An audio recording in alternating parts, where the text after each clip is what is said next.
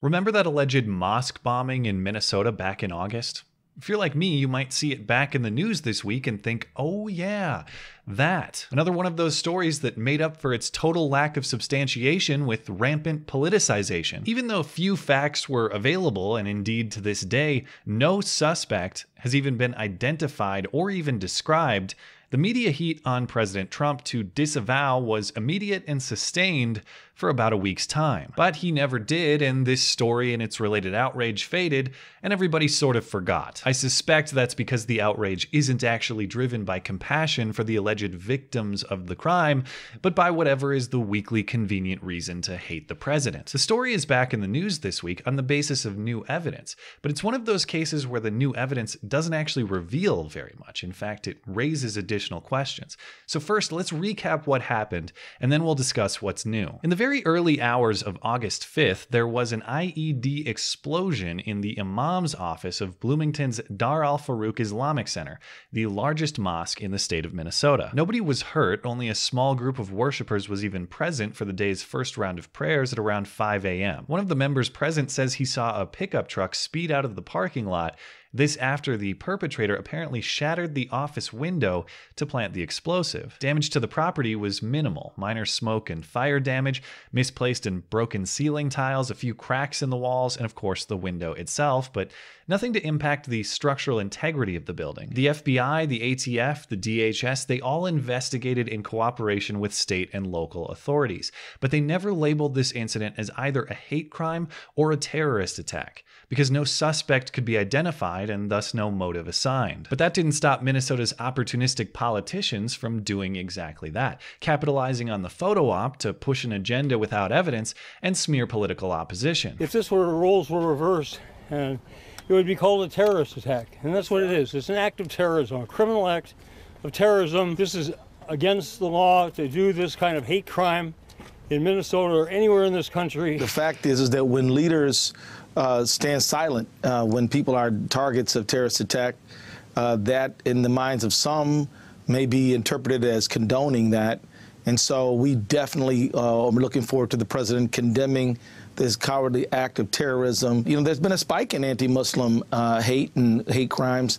And so it's not just this incident, but for the whole rash of anti-Muslim hate that has been happening under the Trump administration's watch, uh, it is important for the president to make it clear that he does not approve of this. The White House never did issue a statement on the incident, other than Sebastian Gorka defending the president's decision to stay out of it until facts are available. There's a great rule. All initial reports are false. You have to check them. You have to find out who the perpetrators are. We've had a series of crimes committed, alleged hate crimes by right-wing individuals in the last six months that turned out to actually have been propagated by the left. When you've had people fake hate crimes in the last six months with some regularity. I think it's wise, don't you, to find out what exactly is going on before you make statements. Definitive information never arrived, even with all of the resources of the Minneapolis division of the FBI investigating. All hands on deck, they proclaimed at the time. But a big pile of cash did. The mosque raised nearly $100,000 on GoFundMe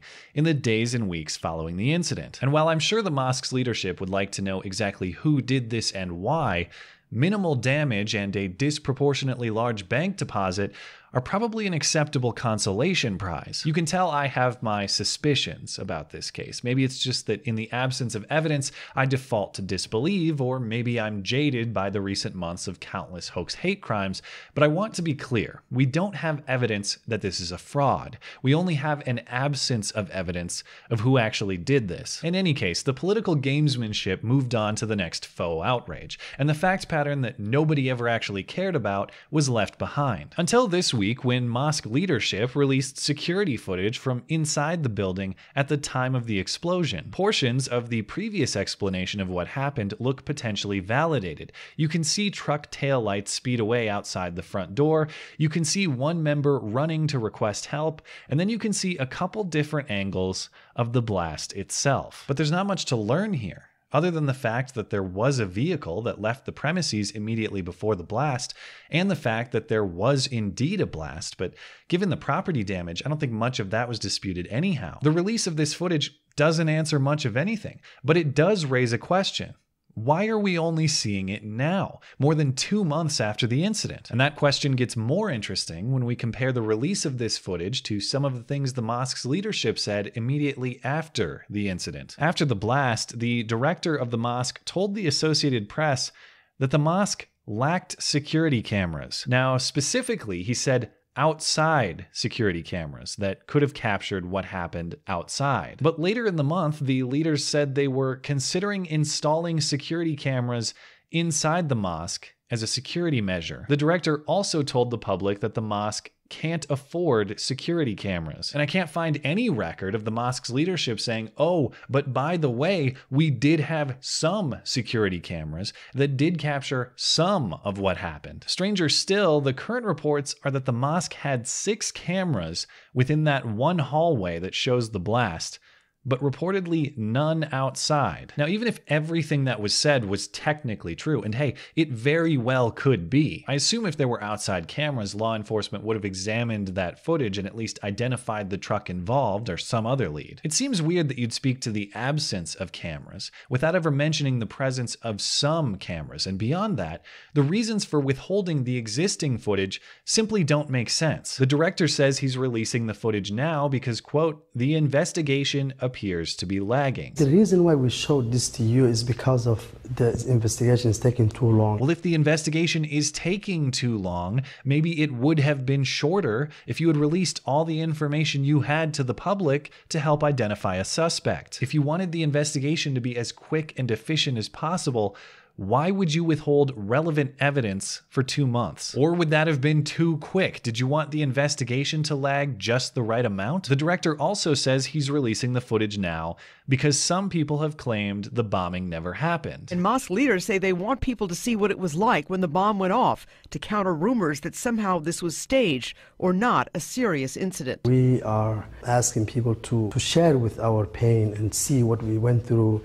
This is the actual footage that inside when the bomb went going off. Well, first, this video doesn't disprove the primary allegation or criticism. People don't speculate that the blast never happened, they speculate that it was an inside job, a hoax hate crime. And second, even if all you wanted to do was prove this blast actually happened, why wouldn't you have done that two months ago when Sebastian Gorka and others were creating headlines suggesting this may have been a false flag? I'm not prepared to call this event a hoax without solid evidence for doing so, but I am prepared to call out local and national journalists alike for not doing their jobs. There are major questions to ask of this mosque's leadership questions of fact and questions of their own seemingly inconsistent testimony. But nobody is asking them, I presume, because they're afraid to appear racist or mean to a minority. Well, sorry, your job isn't counselor or nanny or coddler in chief. Your job is truth seeker,